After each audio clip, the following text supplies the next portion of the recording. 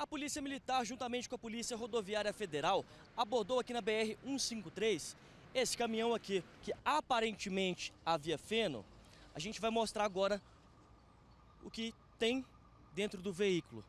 Olha só, muita droga, aproximadamente 4 toneladas de maconha. Essa é uma das maiores apreensões, é a maior apreensão de maconha no ano no estado de Goiás. Duas pessoas que estavam no veículo foram presas em flagrante e olha só a quantidade de drogas. Esse motorista, ele disse para onde estaria levando, onde ele pegou essa droga? Ele disse que teria pego essa carga em Chapadão do Sul, é, em um posto de combustível e traria até Goiânia e também entregaria em um posto de combustível. E ele foi preso em flagrante, né? Exato, ele e o outro ocupante do veículo. Havia duas pessoas no interior do veículo, ambos presos em flagrante.